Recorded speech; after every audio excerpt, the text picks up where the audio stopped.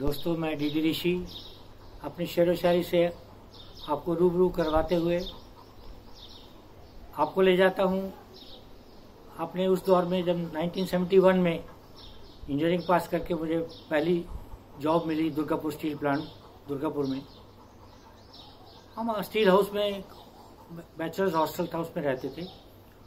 اور شام کو اکثر درگا پور کلب جو بہت مشہور کلب ہے، وہاں اکثر شام کو سوئمنگ کے لیے بار میں یا بلیئرس کھیلنے جایا کرتے تھے۔ ایک دن کی بات ہے، میں وہاں ویکلی میں یا منتھلی فنکشن میں میں اپنی گیت چا غزل درگا پور کلب میں سنایا کرتا تھا۔ تو ایک دن کی بات ہے، ہم شام کو بلیئرس کھیل رہے تھے۔ چار لوگ بلیئرس کھیل رہے تھے ہم۔ اور ایک محترمہ تھی، کہہ رہے تھے کل بہت اچھا گیت سنائے، غزل آپ کی بہت اچھی لگی۔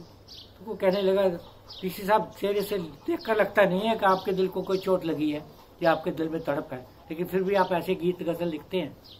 ہاں؟ بتائیے بات کیا ہے؟ ہاں؟ میں اس ٹائم تو مسکرا دیا، لیکن واپس جا کر ایک شاعر دل نے سوچا یا یہ سوال پوچھا ہے، بس اسی رات میں نے یہ غزل لکھی۔ غزل فرماتا ہوں، عرض کرتا ہوں، تڑپ تڑپ کے گزاری ہے زندگی ہم نے۔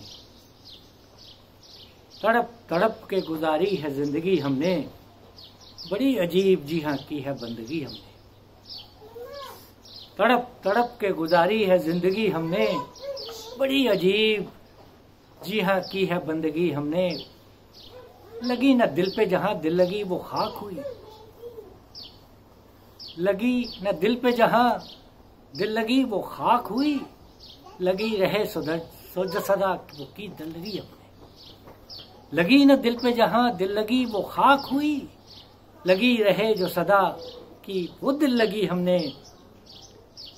فطرت عشق میں ہم نے لٹا دیا یوں تمام۔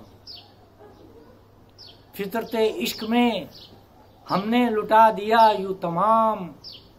کرے تو کوئی بھلا کی جو سادگی ہم نے۔ کرے تو کوئی بھلا کی جو سادگی ہم نے۔ نہیں ہے خود میں خودی، ہے کہاں خدا جانے۔ اسے سننے والا ہے۔ نہیں ہے خود میں خودی، ہے کہاں خدا جانے۔ اسی کے نام پہ تھامی ہے بے خودی ہم نے۔ نہیں ہے خود میں خودی، ہے کہاں خدا جانے۔ اسی کے نام پہ تھامی ہے بے خودی ہم نے۔ کریں گے دوست بلا ہم سے کیا شکایت کوئی؟ کریں گے دوست بلا ہم سے کیا شکایت کوئی؟ دشمنوں سے بھی نبھائی ہے دوستی ہم نے۔ آخری شعر پیش کرتا ہوں۔ لاکھ بدنام ہوئے۔ لاکھ بدنام ہوئے، بد نہ ہو سکے لیکن۔ لاکھ بدنام ہوئے، بد نہ ہو سکے لیکن یہی ہے ایک اگر کی کوئی بدی ہم نے۔